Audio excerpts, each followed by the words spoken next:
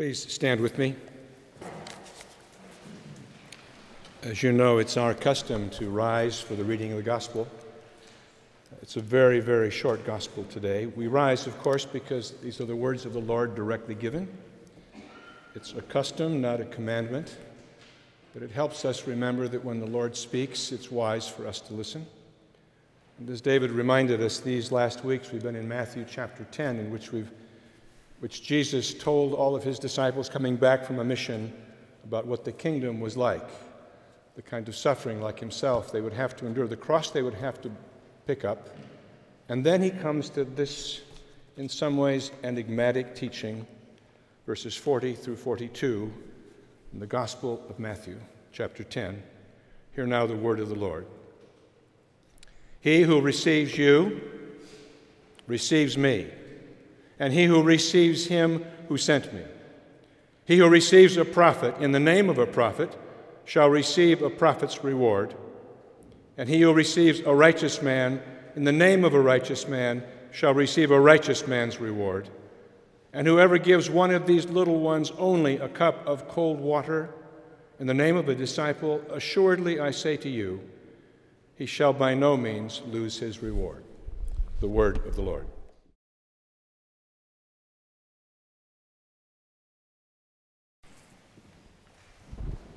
Please be seated. I would hesitate to come into the Lord's presence without inviting him, so please, if you will, pray with me. Father in heaven, we are, or we ought to be, delighted to be in your presence. You made your promise through your Son that when even two or three gather in his name, you come. And so, indeed, we come into your throne room today, Father. Because of Jesus and because of the Holy Spirit you sent to all of us who are his followers and his disciples and his subjects. So we pray today, teach us by your Spirit. Pour out that Spirit in fullness that we leave today knowing we have met with you. Since Easter, here at Christ Church, I think you, all of you, haven't you've all been here, and we hope many of you others have as well. We've done this on again, off again series about the kingdom of God.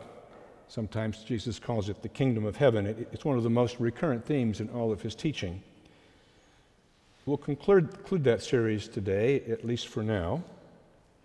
But you may not know that it was only 50 years ago or so that the kingdom of God, the theme of the kingdom of God, was rediscovered by preachers after a long time of being neglected. One of my mentors, a man named David Mains, a pastor and preacher, in teaching about the kingdom, kingdom of God, attempted to put it in words that could help moderns like us. He put it this way The kingdom of God is anywhere that Jesus is acknowledged as Lord, as King, where his will is obeyed, and where obedient subjects enjoy the benefits of his righteous rule. The kingdom of heaven is anywhere Jesus is acknowledged as king, where his subjects are obedient to him, where his will is obeyed and where obedient subjects enjoy the benefits of his righteous reign. I still find that formula helpful. And interestingly, today's three readings help us best understand these three aspects of the kingdom. As we go through them today, I hope they can anchor our hearts in our identity as being part of that kingdom. We'll take them in turn. First, what it means to give Jesus our allegiance as our sovereign. And secondly, what it means, and to a degree, how we become obedient servants. And thirdly, what are indeed the benefits of his reign. If I were put, to put it all into a single sentence, I'll expect you to memorize this. We'll test you at the end. Obedient subjects of Jesus are given the power to live like him and therefore will live with him from now into eternity. Obedient subjects of Jesus are given the power to live like him, and so, therefore, will live with him from now until eternity. So, first, what does it mean to be the subject of a monarch, a king, or a queen? As you know, monarchies are few and far between these days, often embattled and, and usually embedded in democracies. And I don't know about you, but for an individualistic modern like me, I struggle to grasp with what it means to be truly a subject, a citizen under the authority of a king whose will with whom I have no ultimate right to disagree. I'd like to read what was or is today's psalm. It's from Psalm 89. It's a royal psalm, it's a, it's a tribute to the King of Heaven. I'm reading from an old Psalter in modern language. I'd like you to listen. You're welcome to read along, but, but tune your heart to these words.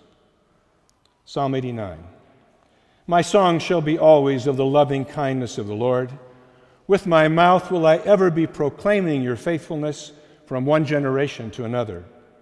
For I've said, mercy shall be built up forever. Your faithfulness shall be established in the heavens. I have made a covenant with my chosen one, says the Lord. I've sworn to David, my servant, your seed will I establish forever and set up your throne from one generation to another.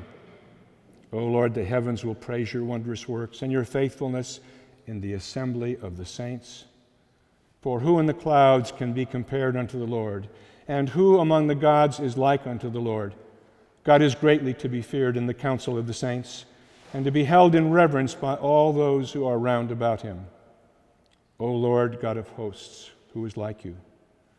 Your faithfulness, most mighty Lord, is round about you. You rule the raging of the sea. You still the waves when they arise. You've sub- subdued Rahab of the deep and destroyed her. You've scattered your enemies with your mighty arm. The heavens are yours. The earth also is yours. You laid the foundation of the world and all that is in it. You've made the north and the south. Tabor and Hermon shall rejoice in your name. You have a mighty arm, strong as your hand, and high as your right hand. Righteousness and justice are the foundation of your throne. Mercy and truth shall go before your face. Blessed are the people, O Lord, who rejoice in you. They shall walk in the light of your countenance. Their delight shall be in your name all the day long. And in your righteousness shall they make their boast. For you are the glory of their strength, and by your favor you shall lift up our might. For the Lord is our defense, the Holy One of Israel is our King. These are words of someone who, in older language, would be described as awestruck. In God's kingdom, one understands his power, his goodness, and his transcendence. In short, and in words that grate upon a modern heart, we come to know our place, our limitations before him. That's how we hold someone in awe. It's a word much abused, but in its original definition, it goes like this Awe is a feeling of respect or reverence mixed with dread and wonder, often inspired by something majestic or powerful. How do we, awestruck only by technology, and having reduced awesomeness to something that is merely our preference, how do we understand how to hold the Lord of glory in awe? We're actually discouraged from doing so by the world around us. David highlighted last week the message around us that we hear is that God's purpose for existence is merely to serve us, to be our friend, and our comfort. And indeed, we do have a friend in Jesus. But he's not just there to get us out of a tight spot. And often, because we've come to view him that way, we have stripped him of his power. And so he's neither high nor holy, because those have become irrelevant terms in our society, at least. So, how do we see him? like the psalmist did. I don't know if this will help you, but um, an experience of my youth.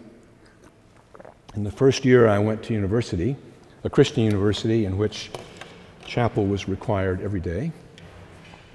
2,000 of us would gather to sing and listen to a sermon and pray a bit. Um, the president emeritus of our seminary was a famous famous missionary and lecturer and had been president and, and had retired. And he came usually to preach um, once every quarter to the student body. His name was V. Raymond Edman. And on this particular um, chapel day, his theme, his chosen theme, was in the presence of the Lord. And in order to draw us into the Lord's presence, he told us the story from his own life. When he had been allowed to visit the last emperor of Ethiopia, Haile Selassie. He took great pains to describe what it took to step into the presence of the emperor, the presence of the king. He said, I arrived at the palace and came into an antechamber, and I was instructed to go to a lavatory dressing room on the side to take off my clothes and my shoes and to wash, to put on the robes of the court and the shoes of the court. Then he said, I was taken to stand before two tall 20 foot doors, black as onyx, with bright gold handles, and a chamberlain at each door. He said, In my name was announced at court, and those great black doors swung open. He said, And I looked down at the longest red carpet I'd ever seen in my life. And there at the end, high up on the dais, in a throne, was a small little man Haile Selassie. But he said, You know, as I progressed down that aisle, and he was sharing this with us, my sense of awe and wonder at his power and at the reverence in which he was held grew and grew. And it reminded me of what it meant to be in the presence of the Lord. That's how one treats a king who is worthy of his throne and that is what it means to acknowledge Jesus as King. That said, and to be honest, awe has never actually worked very well to inspire human obedience, has it? Not for the children of Israel, not for countless generations of Gentiles. We've all proven that. I mean, if you need any real proof, just look around at how we respond to COVID regulations. You know, it's not easy for us to be obedient. And so we'll move to this second point that a subject who holds his king in awe is obedient to his king. We have two texts today, one from Jeremiah and the other from Romans. And both of them help us understand obedience from both sides of the coin. Jeremiah 28, that what we heard was just a snippet of a, uh, the climax really, of a prophetic argument between Jeremiah and a prophet in the court of King Zedekiah, Israel's last monarch before they were taken into captivity and Jerusalem was finally destroyed. It's a very human story of how we humans find our way to disobedience. How we humans find our way to disobedience.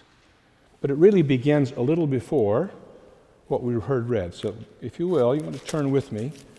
I think it will be page. Lost it. Sorry, 27, chapter 27 of Jeremiah. Verse 5. Jeremiah is telling the emissaries to the court of the king and the king himself Thus says the Lord of hosts, the God of Israel. Thus you shall say to your masters, to all the kings around Israel, and to Israel's king, I've made the earth, the man, and the beast that are on the ground by my great power and by my outstretched arm, and I've given it to whom it seemed proper to me.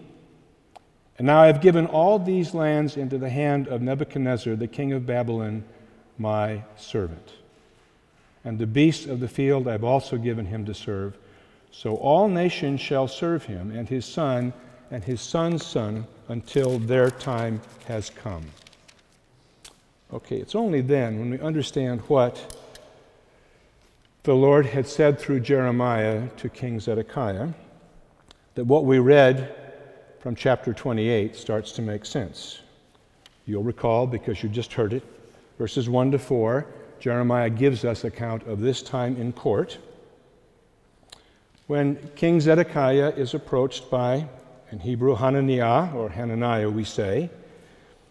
And Hananiah declared to the king that everything was going to be all right in just two years.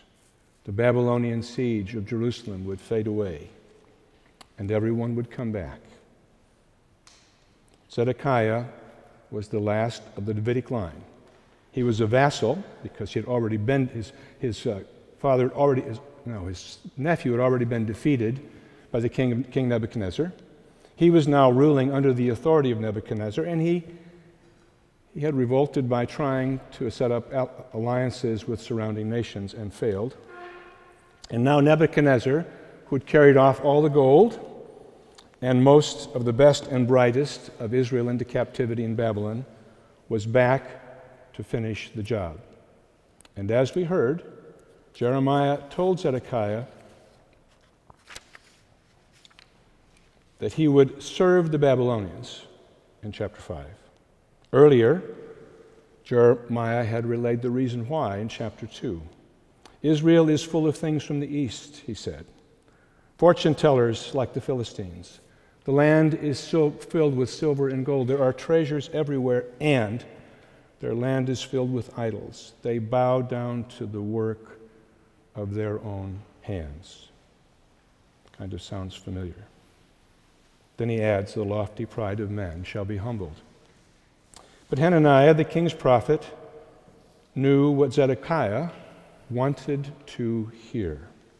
And so he says, In just two years, the exiles will return, the gold will be back, everything will be fine. And Jeremiah, the curmudgeon that he is, says, Amen. I can only wonder if it was sarcastic or ironic or if he just played it straight. May the Lord do so, he says, and goes on as we read. Well, of course, the Lord hadn't changed his mind. And so Jeremiah adds this footnote that we heard. As for the prophet who prophesies peace, when that word of that prophet comes to pass, then it will be known that the Lord has truly sent the prophet. Or restated simply, be sure the Lord will find you out. Hananiah chose disobedience. He preferred the approval of the king he could see rather than the master of the universe. It's not a problem unknown to us. The seduction of agreeing for the sake of approval. But the next day, the Lord called his game. He gave Jeremiah a message to Hananiah Listen, Hananiah, the Lord has not sent you. You have made this people trust in a lie. Therefore, thus says the Lord Behold, I will remove you from the face of the earth. This year you shall die because you have uttered rebellion against the Lord. And then Jeremiah adds a little footnote, a denouement, and says, In that same year, in the seventh month, the prophet Hananiah died. Awe inspiring, isn't it? However, there's an alternative way laid out for us in Romans, and there's much more in Romans 6 than we can talk about today. But it makes something really clear. This is page 1057 in your, in your New Testaments, Romans 6, starting at about the 12th verse. We have to go quickly through it, though. It points out very clearly that what we call sin is simply rejecting the Lord, His sovereignty, and choosing our own. That that's where all sins originate. Believers in Jesus have a choice to make, and it goes like this Verse 13 Do not present your members, that is, your body, as instruments of unrighteousness to sin, but present yourselves to God, to righteousness, as being alive from the dead, instruments of righteousness to God. Okay, when one presents oneself at court, one is acknowledging the fact that you stand before the king to whom you give your allegiance. So the apostle is saying, you've got a choice. You present yourself to your own will, or you present yourself to the Lord of heaven. And by so doing, you're choosing whom you will serve. Simple, right? Yeah, not so easy. Um, the Apostle Paul tries to make it easier for us to understand in verse 17. Let me, let me read it to you. But God be thanked that though you were slaves of sin, yet you obeyed from the heart that form of doctrine to which you were delivered. Got it? Really, Pauline. If we want to understand it, however, we have to jump back to chapter 5, starting with verse 1. Therefore, having been justified by faith, famous, famous line, we have peace with God. We've been reconciled to Him through our Lord Jesus the Messiah through whom also we have access by faith into this grace in which we stand. That is, we stand, we're firm. And rejoice in hope of the glory of God. And not only that, but we also glory in tribulations, echoes of Matthew 10, knowing that tribulation produces perseverance, and perseverance, character, and character, hope. Feel the change that's happening? Now, hope does not disappoint because the love of God, that is, hope won't fail us, because the love of God has been poured out in our hearts by the Holy Spirit who was given to whom? To us. The obedience from the heart that made it possible for any of us to trust Jesus to forgive our rebellion and reunite us with God also brought to us, into us, the Holy Spirit. And the Holy Spirit is the great life changing power on this earth that is still fallen. Confronted with a choice to sin or not, to rebel or to obey, a subject of the king must only ask for help and then, trusting in that help, press forward trying to do the right thing. Or, in the words of that Baptist mystic, Oswald Chambers, at the beginning, we do not reconcile ourselves to the fact of sin. We take a rational view of life and say that a man or a woman, by controlling his or her instincts and by educating themselves, can produce a life which will slowly evolve into the life of God. Don't we have evidence of that all around us? But we find sin upsets all our calculations. We have to recognize that sin is a fact. It is a red handed mutiny against God. Either God or sin must die in my life. And the Apostle Paul chimes in If God rules in me, sin will be killed. That is the sanctifying, holy making promise of the Spirit. And it's how we are able to obey the King. Uh, did that help? Let me go one step further into how it works for me. I'm a type A personality. I rush around doing things because doing things make me feel good. When I see someone who's hurting or struggling and I'm on my way to an appointment, what I want to do is simply walk by If I want to sit and stop and help and pray, I have to say, Holy Spirit, you've got to change my heart. And I find if I even try to obey and stop, the help comes.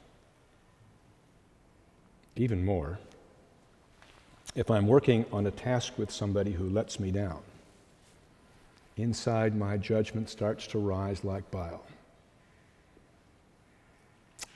And if I don't say, Lord, help me, give me the grace to give this person that's the grace I would like given to myself when I make a mistake.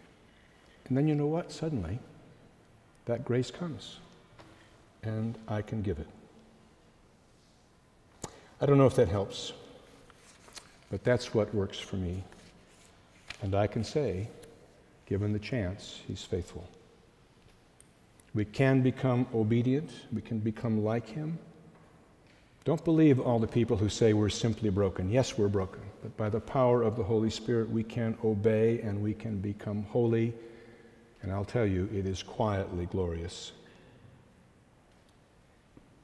Last week, David reminded us from Matthew that the kingdom requires sacrifice, right? Taking up the cross as Jesus took up his, and so it is, and probably taking up the cross represents the height of obedience. But as he said earlier, and as I want to say clearly again, uh, Jesus is also clear about there being a reward. If you want to turn to Matthew chapter 10, you can follow along. I forget what page it is. Hopefully, you can find it. Chapter 10, verse 40. And I want you to note, he says, He who receives me, receive, he who receives you receives me. And he who receives me receives him who sent me. Okay, Jesus wasn't yet resurrected to his throne in heaven, but the word receive should give us a clue. He's restating this formula of the kingdom. A monarch receives someone and gives him recognition. So he's saying, someone receives you because your spirit's, my spirit's within you, they receive me. If they receive me, they receive my Father in heaven because we are all one. And then he goes on to list these rewards. And you know, for someone like me who has of this last decade gotten really excited about the Jewish roots of the Christian faith, I thought, boy, what's a prophet's reward? What's a righteous person's reward? There must be some secret key somewhere in the Old Testament or in the, or in the rabbi's teaching. But you know what? I think it's much simpler than that. I think it's simply Jesus is illustrating the nature of the kingdom of God and the fact that he's not a respecter of persons. A prophet like Jeremiah suffers, is honored, but you know it's a big job, isn't it? And a person who's declared to be righteous gets a lot of praise. It's really important in the kingdom of God, isn't it? But you know, someone like you and me who gives a cup of cold water to another disciple of Jesus or to a child, who stops to look, to help, to give, you know what Jesus is saying? That kind of obedient servant in my kingdom will not go without reward. And in Romans, Paul makes it very clear the reward for that kind of living is life with Jesus now, beginning in eternity that lasts into the ages and ages and ages to come. There'll be some skeptics who will say, well, isn't expecting a reward being selfish? I think it depends upon the reward. If you save your money and invest it wisely and buy the right kind of property, what are you expecting? Financial security. If you exercise in a diligent way and eat the right kind of food, the reward you expect is good health and maybe a little bit longer life. But it doesn't always work. But you know what? It's not like that in the kingdom of heaven. In the kingdom of heaven, when you stop to show mercy to someone, are you short of a reward? When you intercede for someone instead of gossiping about them, is there a reward? You betcha. And that's not even the big one.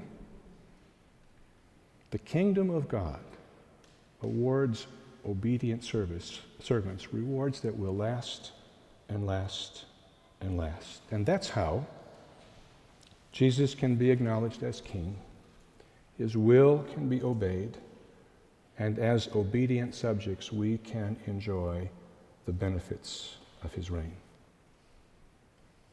But there's a question you have to ask Do you want to be a subject of the king or not? It's not a light question. Jesus teaches about the kingdom again and again and again. And if Christ Church in Jerusalem wants to be a beacon of light of the kingdom of God here in this present darkness, or you, wherever you are, expect to be a beacon of light with the community around you, you have to make the choice to step into the kingdom. Not just believe, oh, you may make it in by the skin of your teeth to eternity. But if you want the richness of life with God, you pay the price and you receive the reward because you serve the King of glory. Really should close. I'm probably over time, but I don't want to without telling you the rest of that story that I began just a minute ago. Oh, well, a few minutes ago, about Dr. Edman. Because I didn't tell you the whole story. As he was walking down that, that aisle and talking to us about the greatness of the Lord he served, because Haile Selassie reminded him of what it was like and would be like that day when he stepped into the throne room of the kingdom of heaven. And all the elders would be singing, and there would be King Jesus and his Father on the throne before him. And suddenly, he slumped over the pulpit and slid to the floor. And the chapel was drenched in silence. The provost stood up and he motioned us to leave quietly, and we did. The announcement came in the next hour of class that uh, Dr. Edman had gone home to the Lord. Now, I want you to rejoice here. He was a faithful, obedient servant. Served in South America as a missionary, served as a pastor, served as a professor, Finally, in the years of the war, assumed responsibility for a Christian college that was struggling and rebuilt it by the grace of God. And now he stood, sharing about his king, in front of those he loved most, his colleagues and his students. And the Lord took him up. Now I ask you, is there a better reward? Could you ask for reward more than that? Except that, of course, he no longer saw by faith, he saw by sight. May it be so for you and me. In the name of the Father, the Son, and the Holy Spirit. Amen.